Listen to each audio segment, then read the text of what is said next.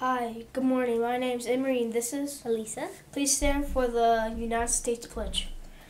I, pledge allegiance to the flag of the United States of America and to the republic for which it stands, one nation, under God, indivisible, for liberty and justice for all. Keep remain standing for the Texas Pledge. Honor the Texas flag. I pledge allegiance to the Texas, one state under God, one indivisible. Remain standing for the moment of silence.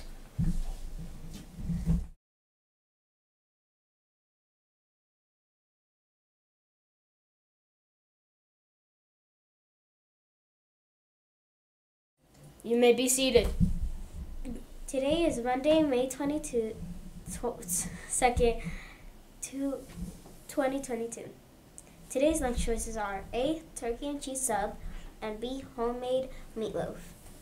All right, friends, we're almost to the end of school. Be a smart cookie. Come to school every day. This is a reminder that all of your books should have been turned in on Friday. Also, field day short shirt orders need to be turned in by May 4th. We are. Have a great day. Bye. Bye.